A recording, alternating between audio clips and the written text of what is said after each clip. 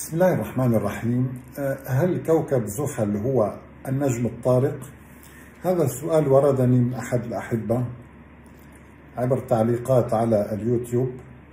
يقول نرجو أن تبين ما هو المنهج العلمي الذي تتبعه في الإعجاز العلمي. لأن هناك بعض التفاسير تقول إن كوكب زحل هو النجم الطارق لأنه طارق أي يظهر في المساء لذلك سمي بالطارق أي الزائر ليلا. والثاقب لأن ضوءه يخترق السماوات كما يقول طبعا. وبالنسبة للنجم النيوترون النابض الذي تقولون هو النجم الطارق. طيب كيف نعرف أن هذا النجم الطارق بالفعل هو النجم النيوتروني وليس كوكب زحل؟ أرجو أن توضح ذلك. للمشاهدين. أحبتي في الله أول شيء انتبهوا معي.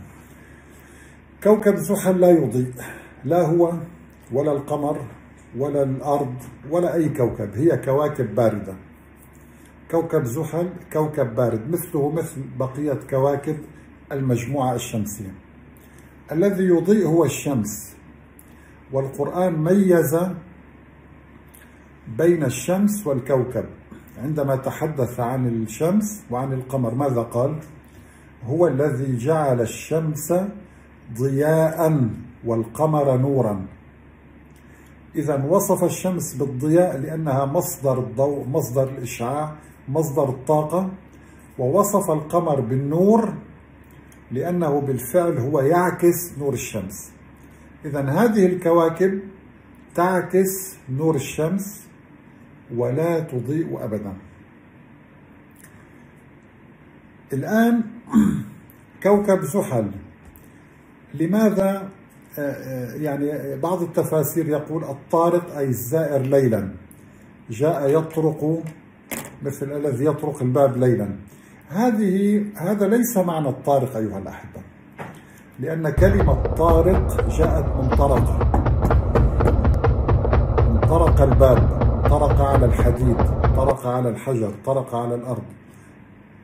نحن نذهب إلى أساس الفعل وليس إلى المعاني الأخرى المجازية.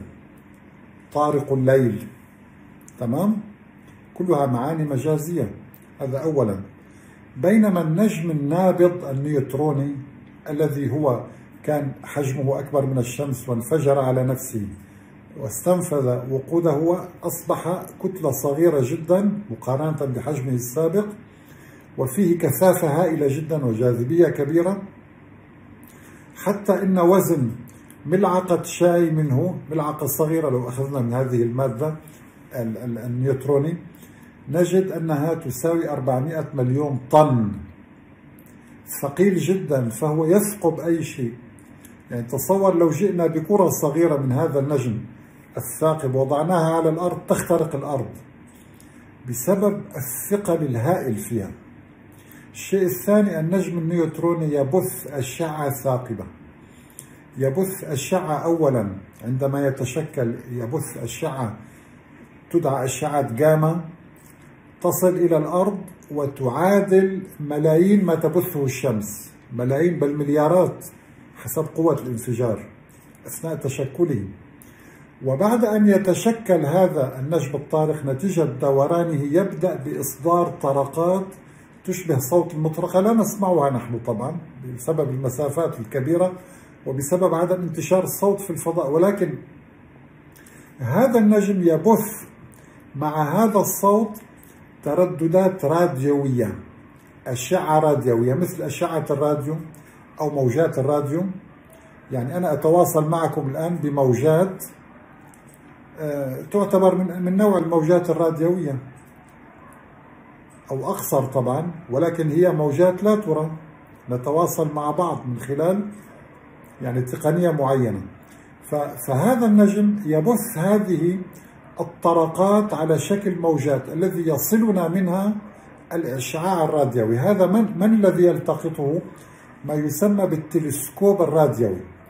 تلسكوب لا يرى الأشعة الضوئية بل يرى الأشعة الراديوية لأن معظم النجوم البعيدة نحن لا نراها كيف نعلم أن هناك مجرة على بعد 13 مليار سنة ضوئية؟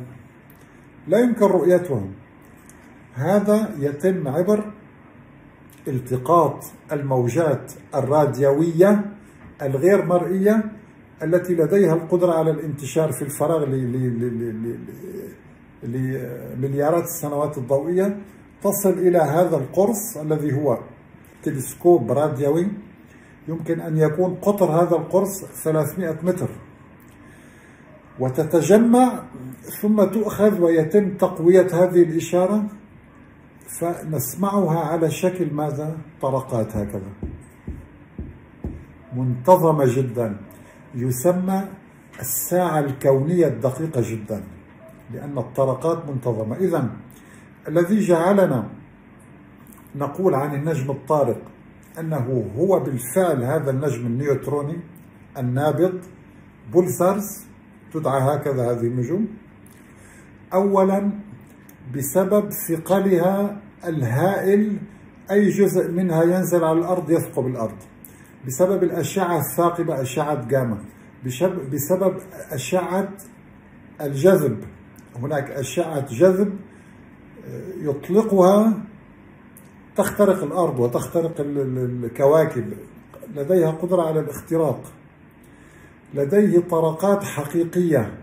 نحن لا نسمعها ولكن تم تسجيلها من قبل العلماء.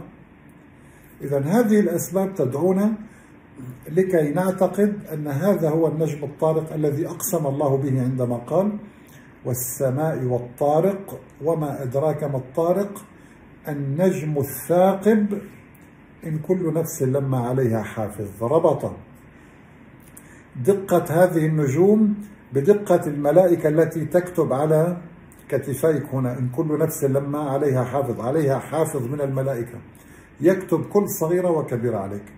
نسأل الله سبحانه وتعالى أن يجعل في هذا التوضيح العلم النافع. والسلام عليكم ورحمة الله تعالى وبركاته.